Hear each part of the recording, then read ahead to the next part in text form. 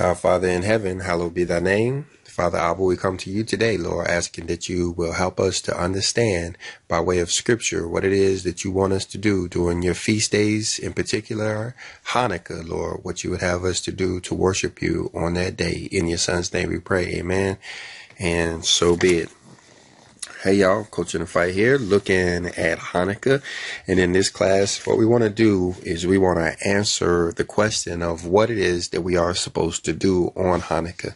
We have been getting a lot of um, these type questions these days uh, referring to Hanukkah. It's kind of new to a lot of people as they start to make the transition from the pagan holidays to the holy days, um, uh, myself included.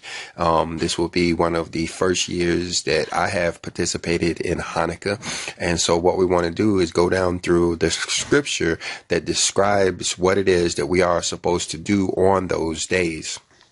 Now, to get information about Hanukkah, we have to jump over to the book of Maccabees.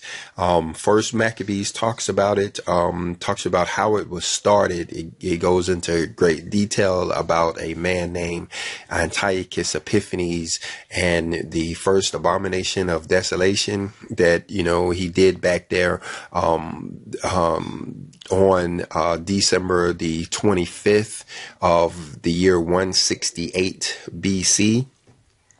But that day just so happens to fall on the 25th day of the ninth month. That month is that's called Keslev or Kislu.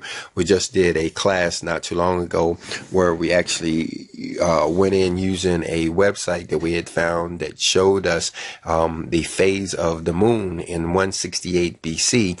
And turns out that uh, Antiochus Epiphanes actually put the abomination of desolation on the altar there in Jerusalem on Christmas Day. Now, in that class, we talked about how Hanukkah was actually the replacement for that festival that Antiochus was doing. He was, of course, celebrating uh, the sun, the sun god. He was participating in sun god worship, and part of um, um, the rituals that they did was to sacrifice a pig. And the thing about it, he chose um, the altar there at the temple in Jerusalem to sacrifice that pig, and and it he did so on December uh, the 25th. But anyway, so we're looking in Second Maccabees and chapter 10. And we're going to start here at verse 5. It says, Now upon the same day that the strangers profaned the temple, on the very same day that it was cleansed again, even the five and twentieth day of the same month, which is Keslu. Now, like I said, he, Antiochus, he done this devilish act as he was participating in sun god worship or their winter festival where they celebrate the winter solstice. And they always do that on December uh, the 25th. They've been doing that even back to the Jeremiah and chapter 10 days, um, where they've been, you know, doing this actually, um, that winter solstice day goes back to Nimrod actually. Um, but we know that day as Christmas um, because the name, of course, was changed by the Roman Empire after Constantine came in and did very did almost the same exact act that Antiochus Epiphanes did. But you know, we'll cover that in a in another class. But the, the point I want to make out as far as um, this verse is concerned is how um, Hanukkah replaced that uh, that um, that day. It replaced Christmas. I, I don't. I, I, hesitate to call it Christmas because it adds a little bit of confusion because it wasn't known as Christmas um, in 168 BC, 168 years before the Christ. It wasn't known as Christmas, but it was the same December the 25th celebration that we know today as Christmas. And the thing about it, you see here in this verse that Hanukkah was created, it was instituted to fall on the exact exact same day. Now, it doesn't fall on December the 25th. It actually falls on the uh, like we see here, the 5 and 20th day of Keslev or Kislu, which uh, of course changes, you know, every year. What's interesting is that, that in the year 2024, um, the fifth day of Kislu will actually fall on December the 25th. And I think that's kind of you know interesting. Um, we'll we'll be paying particularly a close attention to that as we get closer to the year 2024. That those days coincide. But anyway, let's go on because in this class we want to know what it is that we're supposed to be doing on that day. You see right there in verse six it says, "And they kept." The eight days with gladness, as in the Feast of Tabernacles, remembering that not long afore they had held the Feast of Tabernacles when they wandered in the mountains and dens like beasts. Okay, so here it is. This is this is what it is, how it is that we are supposed to celebrate Hanukkah. Is just telling us that we are to celebrate it as in the Feast of Tabernacles. So keep that in mind because we're going to hear that word several times. Because Hanukkah is a tabernacles type festival. It's like we are redoing tabernacles in the ninth month. Um, doing the, um, we're going to see here we're doing almost the same things um, that we were doing during tabernacles when we compare what we see here in um, uh, Maccabees and 10 to Leviticus and 23 and Deuteronomy and 16. We're going to jump over there and look at those as we try to, you know, be comprehensive on what it is that we're actually supposed to be doing on this day. All right, let's go on to verse 7. It says, Therefore, they bear branches and fair boughs and palms also, and sang psalms unto him that had given them good success in cleansing his place. Okay, so here it is. Uh, we know that it is a tabernacles type festival, but if you are um, aware of how it is that you do tabernacles, you see that this is the exact same thing that we're going to see over there in Leviticus 23 and Deuteronomy chapter 16 is that they're taking the branches of goodly trees. Um, we live on a homestead here um, in Alabama. We have, uh, I would guess, 5,000, maybe even 10,000 trees here on this property. And, you know, what we'll be doing, just like tabernacles, is we'll go out and we'll find the, the, good trees. Not all of these trees are good. Some of these trees on this property are, you know, almost useless, you know, except for firewood or whatever, um, like a sweet gum tree. I don't know what they do with that. But, you know, um, we do have other trees that are good. You know, um, we have uh, pecan trees, we have cherry trees, we have orange trees, and we'll go out there and we'll get branches off of these trees and we'll walk around with them. Even uh, the oak trees, because they provide so much food for the animals around, we consider that a goodly tree. And you know, um, my family and I will have handfuls of um, these uh, branches of these trees, and we'll walk around and we'll sing psalms. We we have songs that we sing as we march around, singing and being joyful for uh, these eight days, just like we did during the Feast of Tabernacles. Verse 8 says, They ordained also by common statute and decree that every year those days should be kept of the whole nation of the Jews. Now, so this is when this festival was instituted. And so I do want to jump over here and show you in the book of uh, uh, John and chapter 10 um, how the Messiah actually uh, kept these days as well. You see that in John uh, chapter 10 and verse 22. And it says, And it was at Jerusalem the feast of the dedication, and it was winter. So this is talking about the Messiah here and how he actually kept the feast of dedication or the feast of Hanukkah. The word Hanukkah actually means dedication. When you look in some concordances, you'll see Hanukkah in replace of dedication. It's actually the dictionary definition of the word is dedication. And so you see here, you see the Messiah walking around in Solomon's porch uh, during that festival. The thing about it, um, the Messiah didn't live in Jerusalem. You know, he lived in uh, Nazareth or Galilee or somewhere, which was pretty much an eight hour walk. So for him to have made an eight hour walk to get to Jerusalem lets you know the importance of that holy day.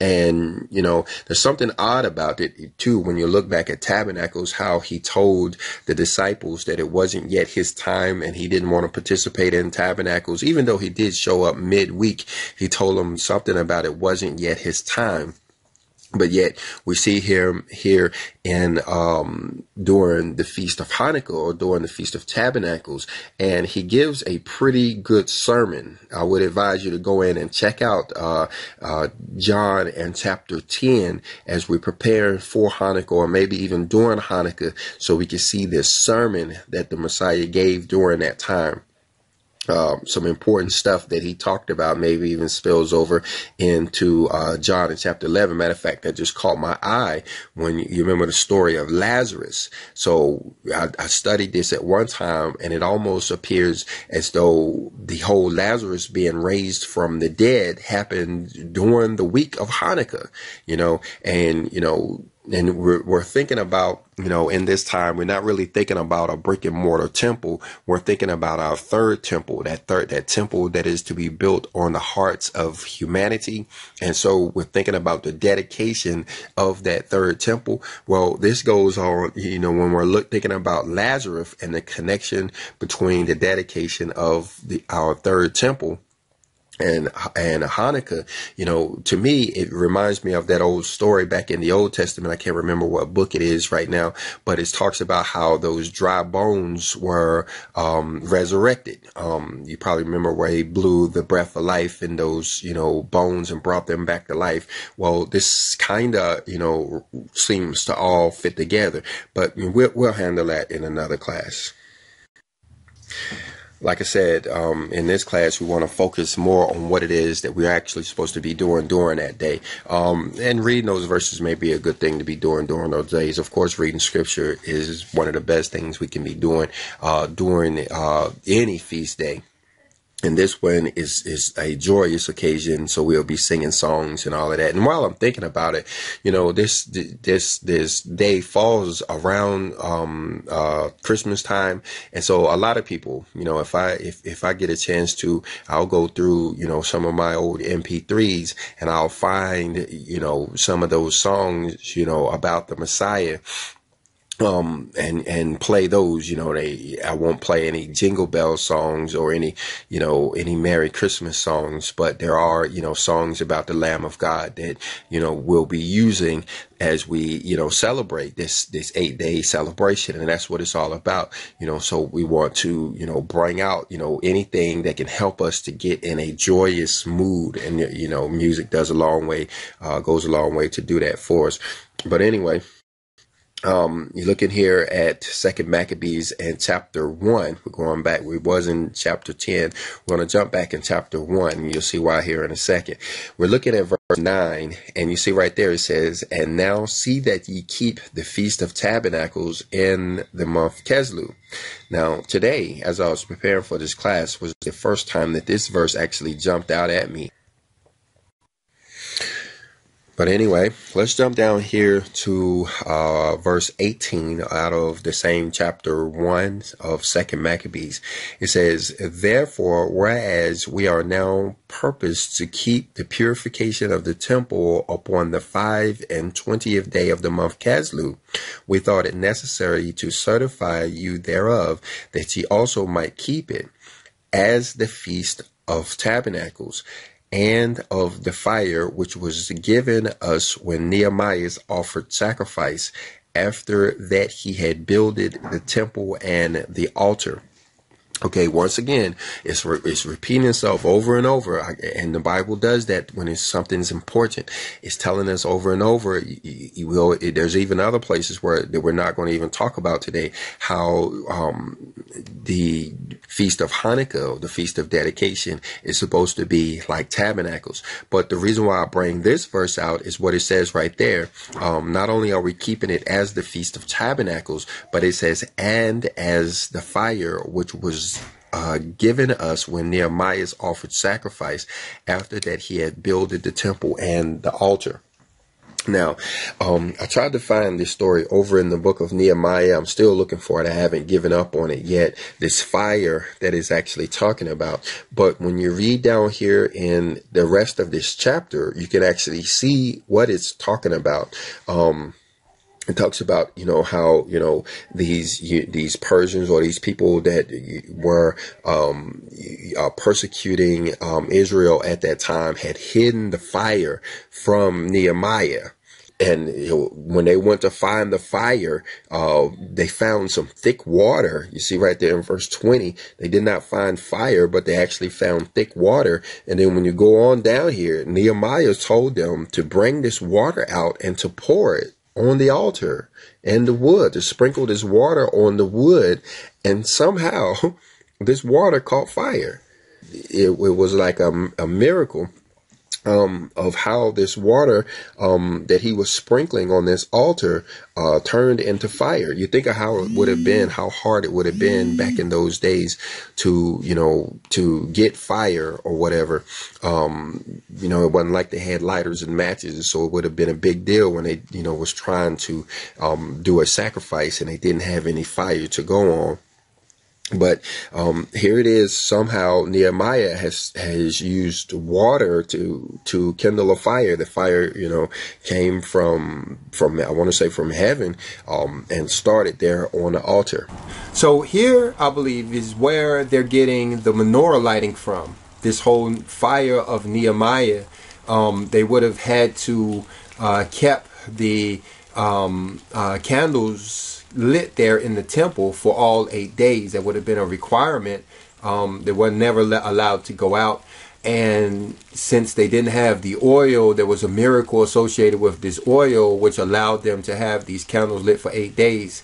But I believe what our Father really wants us to get out of this is the spiritual message, which will be um, keeping this light lit. And we learn from the ten virgins in the New Testament, the wise virgins and the unwise virgins, that the oil is actually uh, the law. So what this could be telling us, as far as keeping this candle lit, is to uh, read through uh, those books like uh, Exodus, uh, particularly chapter 20 through 24, which is the covenant, and then maybe even getting into some of the other books of the Torah uh, for those eight days, kind of like the Feast of Unleavened Bread in the ninth month. Now, we'll get into this prayer a little later in the video, but uh, there's one other thing that I wanted to bring out here as far as Hanukkah, because you see people who actually want to give gifts during Hanukkah, and I believe they're getting that uh, maybe from here in verse 35 where it says the king showed favor to those involved and presented many excellent gifts to them so um, these kings i guess people you know are acting in the way of the king who are giving gifts around Hanukkah time.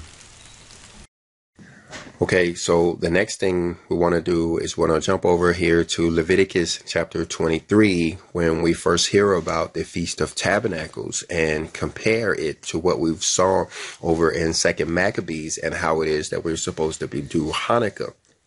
Um, we see in verse 34, it talks about how uh, tabernacles falls on the 15th day of the seventh month.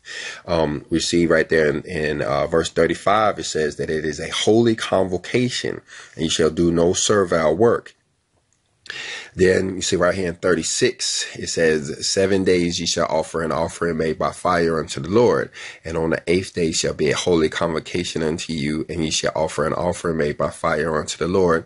It is a solemn assembly, and ye shall do no servile work.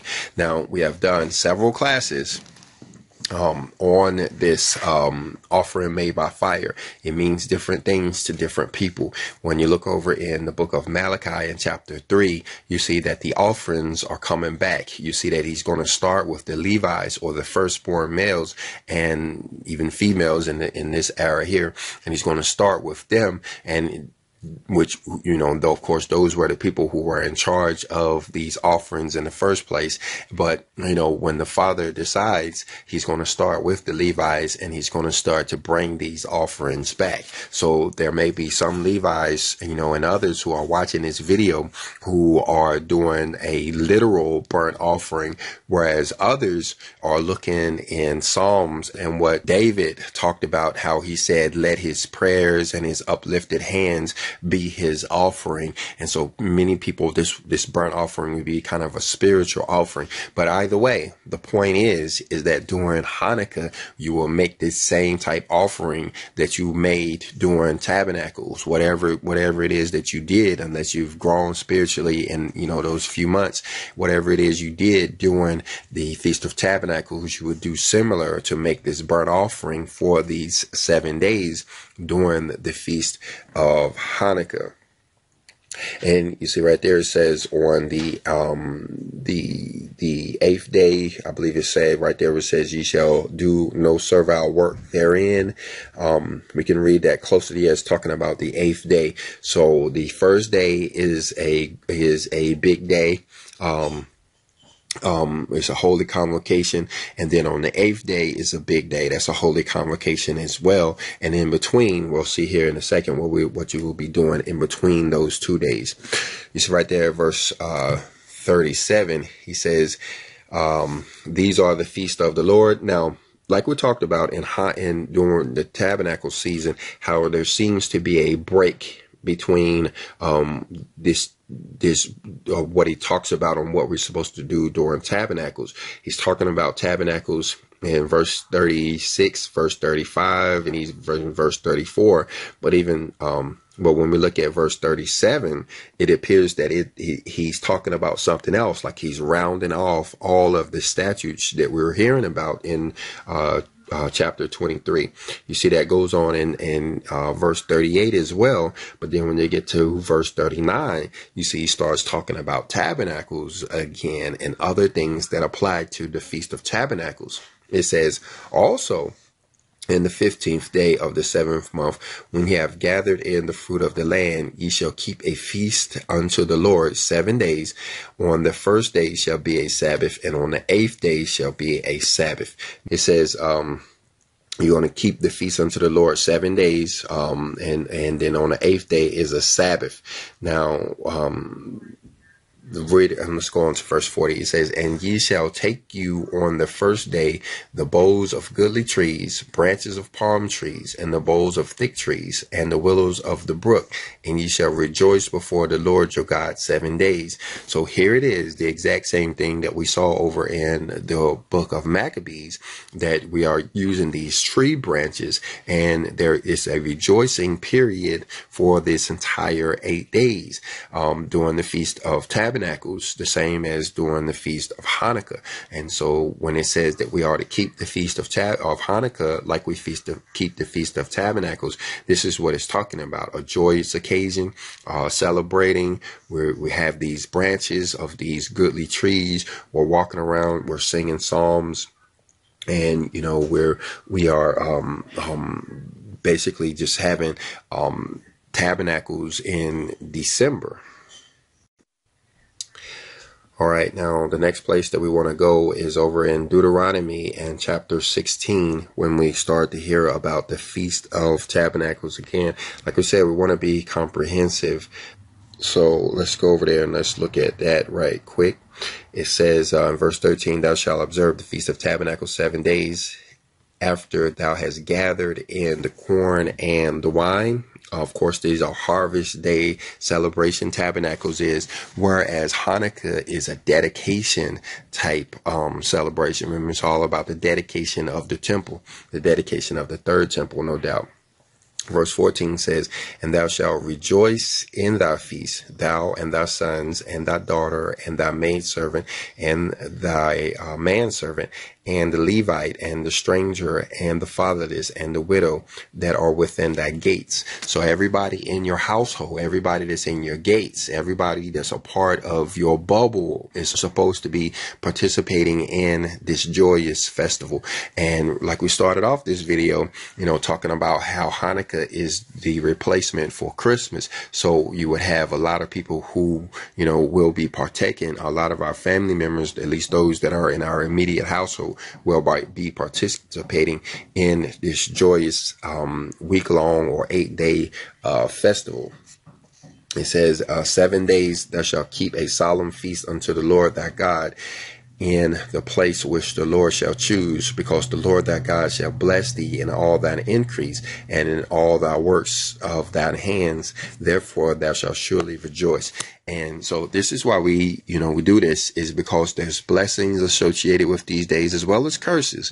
Um, you know, if you don't do these days, um, correctly, um, especially those we read about over in Leviticus 23 and maybe Hanukkah included, you know, um, Maccabees was once included in our Bible. You know, they didn't take it out until, you know, the 1800s. They took out the book of Maccabees. Um, I have, if you have a Bible with the Apocrypha in it, um, you'll see the book of Second Maccabees in there. So it's actually in our Bible. And so we, we keep these, these holy days, these festival days, um, so we can receive these blessings. This is one, uh, one, um, of the main blessings of the scripture. You know, the Bible, it doesn't promise us new cars or wealth or fame or anything like that. The promises of the Bible, you see right here, it says, um, that God shall bless thee in thine increase, meaning that, you know, um, you know, the crops that we're trying to grow or the widgets that we're trying to produce or whatever that, that we're trying to do will prosper. And then the other one, it says, and in all the works of thine hands. Now, this one was a surprise to me not too many years ago that the promises of the Bible is that he will bless your hands, meaning you'll get kind of like the Midas touch. You know, you, anything you attempt to do will turn out well whether it's fixing a car or baking a cake or building a house or whatever it is. He says he will bless all the works of thine hands. Think about that for a second. All the works of your hands will be blessed if we participate in these feast days. And that's why it is that we participate in these feast days. And just as an aside note, you know, for all of those people who, you know, try to say we aren't supposed to be doing these feast days, they're relying on Mr. Charlie for their success. They're relying on the government or they're relying on um, the B systems or they're getting their prosperity in other ways. They're not really, they're not really getting their prosperity from, you know, the Lord as we do, um, that are keeping these feast days. All right. Now, we said we was going to talk about this prayer of Nehemiah, so let's jump back over here to uh, uh, Second Maccabees and chapter one. This is the same verse where he told us that the um, feast of uh, Hanukkah would be um, the new tabernacles, you know, so this is a big day. Not only did it replace Christmas, but you see, some some people are going to look at that verse right there and say that they replaced tabernacles, especially those people who miss tabernacles. They're going to say, "Hey, I'm doing tabernacles this time. I really didn't miss anything."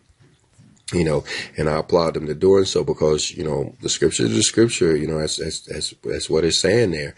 But we're going to jump down here and we're going to see this prayer starting in 24 and we're going to close out with it. It says, O Lord, Lord God, creator of all things who are fearful and strong and righteous and merciful and the only and gracious King, the only giver of all things, the only just, almighty, and everlasting, thou that delivers Israel from all trouble, and choose the fathers and sanctify them.